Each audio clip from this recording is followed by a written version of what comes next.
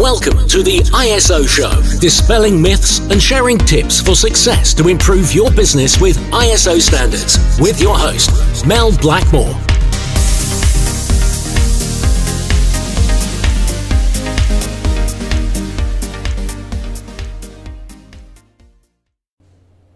Hello and welcome to the ISO show. I'm delighted to be joined by Steve Mason again. Hi, Steve. Hi, Mel. Great. We are going to be covering a topic within ISO 27001 that does cause quite a lot of debate and questions when we start implementing ISO 27001, the information security standard within organisations, and that is around clear desk and clear screen. So, what do we mean by that? Well, Steve's going to explain the do's and don'ts and hopefully dispel some of the myths around it as well. Because I know that when we've been into organisations in the past, sometimes there is a lot of worry and concern that we're going to get rid of all of the paperwork and you can't have any scrap of paper on your desk. But yeah, that's, that's right, not actually yeah. true, is it? And, no, no. And obviously, it depends in different businesses. I mean, obviously, you've got some creative organisations where they have to have drawings and specifications exactly, on their desk. Yeah. We wouldn't expect them to be working without them. So yeah, so Steve, what are some of those myths around Clear Desk and Clear Screen? Well, I think you started from the right point there. If we, if we think about Clear Desk, people do get this impression that we've got to have uh, almost a clinically clean desk at every point in the day. But that's not practical. This is when we start turning security into a sort of straitjacket of Fort Knox. And really, if you're going down that route, you're going to soon get people's backs up and they're not going to sort of follow the policies.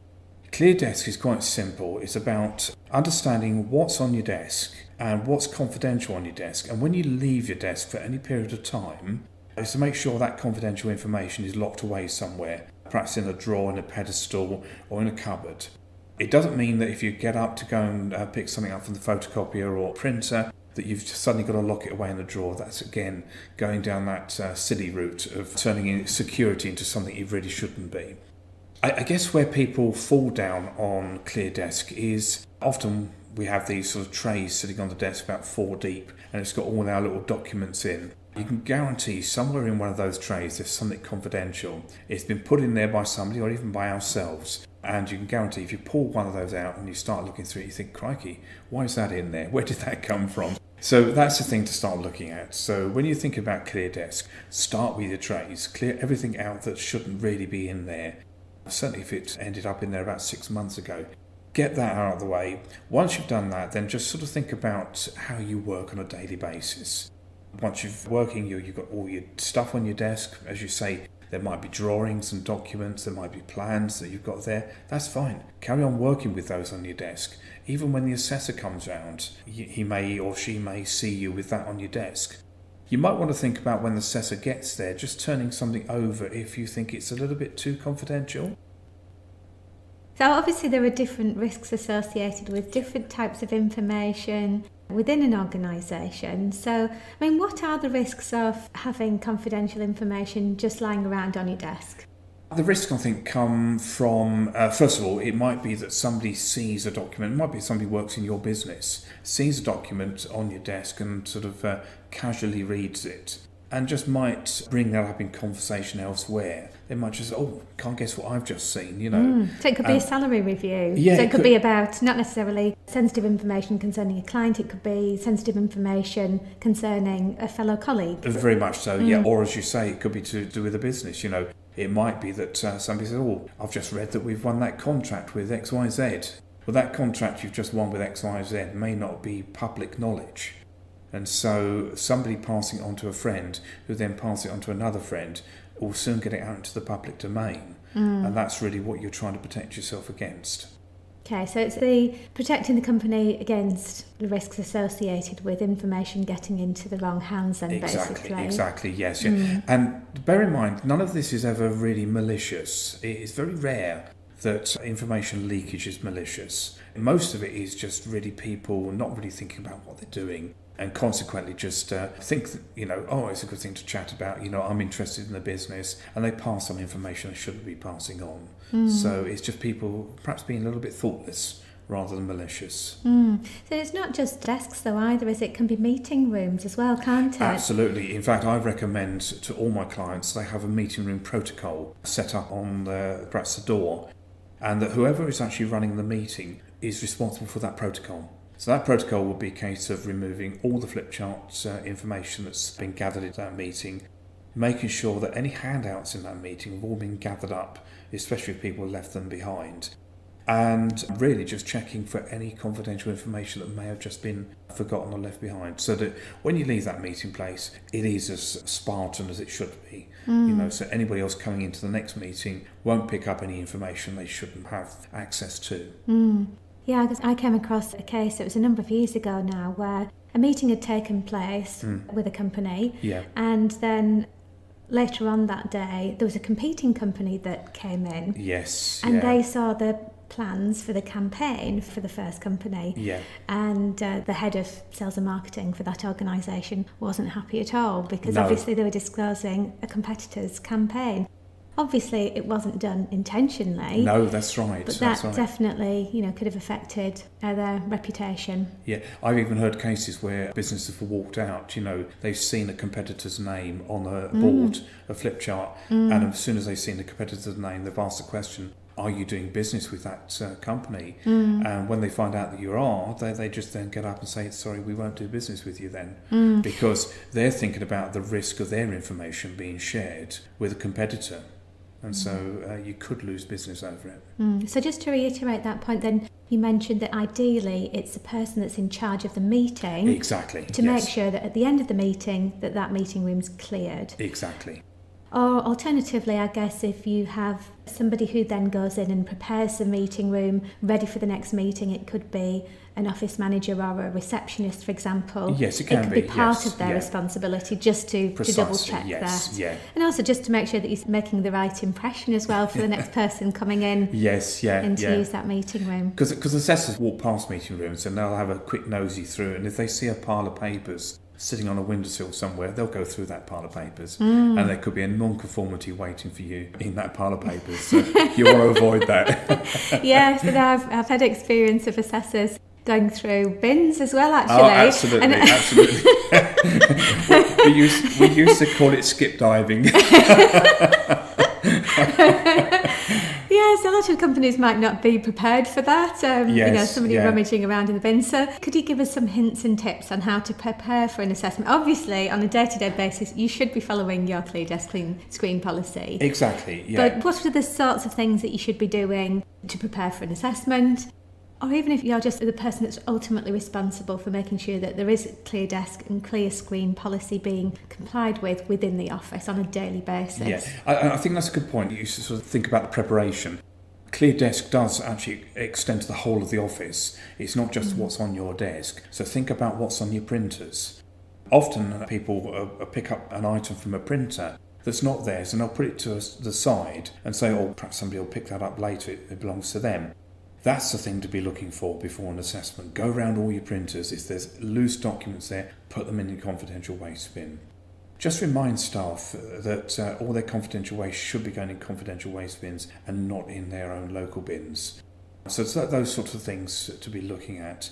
Uh, I suppose the other thing is to make sure that people haven't got post-it notes stuck around places that might have the odd password left on it. yes. I know it's bad habit, and I know mm. we shouldn't be doing it, mm. but it's mm. amazing how many people do it. You mm. know, so uh, people haven't quite got into the habit of uh, learning how to manage their passwords mm. correctly in that sense. Yeah. So yeah, so don't think about Clear Desk as being purely what's on your desk. Clear Desk extends to the whole of the office area that you're mm. working in.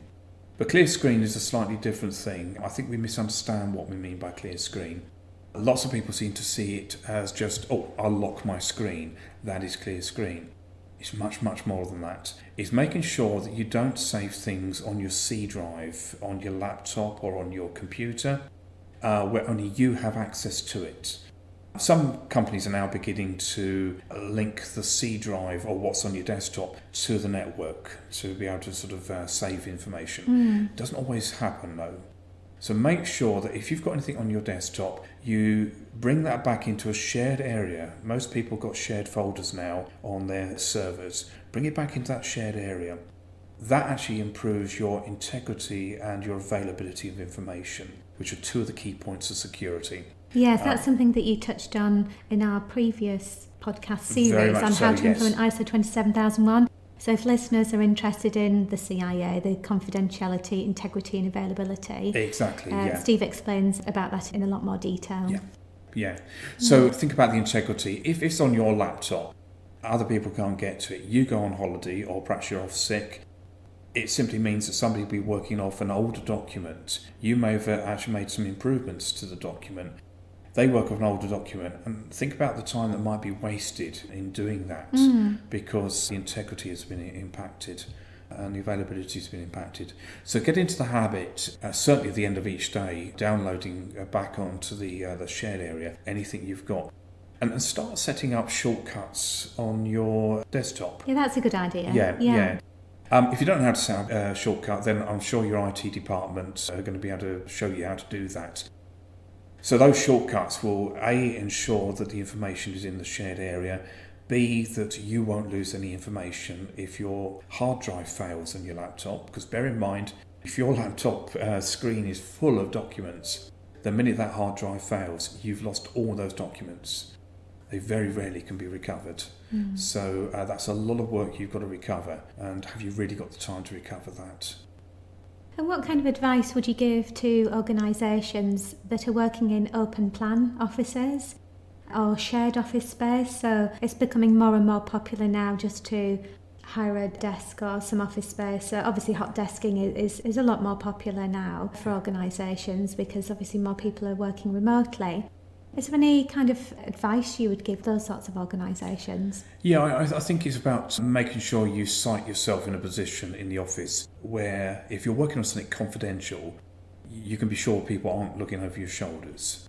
So I know it's not always possible to do that, but uh, also be aware of some of the tools you've got available on your laptop, such as Windows L. We know Windows L will lock your laptop immediately, but the one people are not too familiar with is Windows D which simply means mm. that everything gets minimized down to your desktop.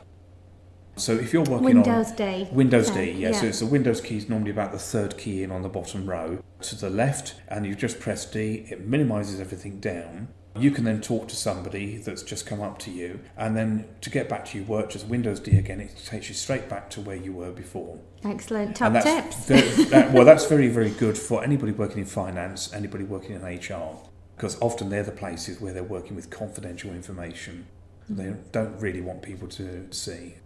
And of course, I know that we automatically think of clear desk and clear screen in the office, mm. But I guess it's just as important, if not more important, when you are working remotely, Absolutely, either working from yes, home yeah. or you might be on a train for a couple of hours and you think, oh, actually, I'll get a few emails done. Yeah, yeah. What kind of advice would you give organisations in those situations? Well, if we think about working on public transport, one of the th- things that uh, people should be thinking about is a privacy screen. So, privacy screen is a little filter that fits over the front of your screen and you can only view your screen being directly in front of it. So passengers around you won't be able to see what you're working on. How many times have we actually sat there, seen somebody working on something, and we just can't help ourselves? Oh, that's interesting. Yeah, that's not, yeah. What's he doing? so uh, we're, we're, all just uh, curious beings, and we mm. just want to know what other people are doing. So if you're working on something confidential, get yourself a privacy screen. If you happen to find yourself working in a coffee shop because you're perhaps between meetings, it's not a bad thing, but position yourself in such a way that people can't see what you're doing. Go to the walls, you know, so that you've got your back to the wall and work so you can see everybody in front of you. I think I read too many spy books actually. um, because a lot of it's common sense, though, isn't it? it? Is, but I think yeah. the problem is, is we don't always automatically think that way. We're not always thinking about data security. Exactly. But yes, I guess yeah. it's just changing that mindset in culture, is, isn't yes, it? In yeah, no matter where you're working. Yeah. Yeah, um, it's about controlling your area, controlling your space. Hmm. Because mm. if you can control your area, control your space, you then know what's happening around you and you can act accordingly. So if somebody comes across to you, perhaps to clear the tables, you can do Windows D to minimize everything uh, so people can't see what you're working on. Mm. So, um, okay. so there's often, often little things. Just just think about your surroundings. Excellent.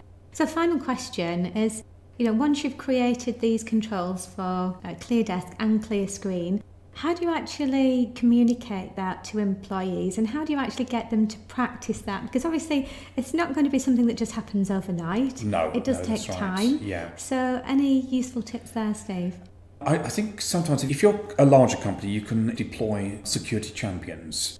And if you've got security champions, give them a little checklist perhaps to work on uh, once a week or, or once a month, whatever you feel is appropriate. Just to go around and check these things like what's at the printers, you know, has confidential waste been thrown away properly? Just go around, see whether people are holding things in their bins. Perhaps walk around the office and see what screens have been left open when people walked away.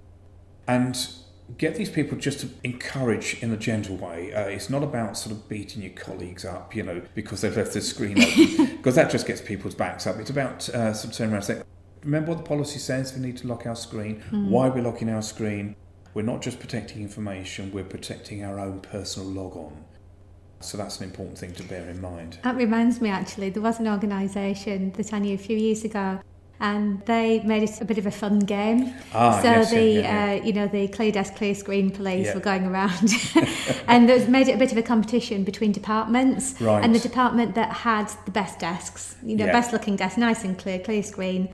And uh, clear desks got a box of heroes, the chocolates. Oh, yes, the, yeah, uh, yeah, yeah. the infosec heroes. Yes, yeah, And yeah. Uh, so everybody then wanted the box of heroes for their department. Uh, so they made it uh, a bit more fun. Yeah, I- I've heard similar things where perhaps you're walking on a, a morning and you find you've got a red triangle on your desk because you've perhaps uh, forgotten to do something like clear desk or, or clear screen, you know. So there's lots of ways of doing it. And I think the word fun is, is the important thing because you don't want security to be something people fear. You want something that people embrace and do it quite naturally within their, their working environment. So yeah, I mean, security champions work for big companies, smaller companies. I think it's just down to continually encouraging people. You know that uh, if they've got up from their desk, they walked off to make a cup of tea into another room. If they haven't locked their screen, just remind them. So there are tricks, and I won't divulge whether those tricks are because you can get into trouble. So let's let's not go down that route. Okay. oh no, but that's been great for you to share what hints and tips you can do.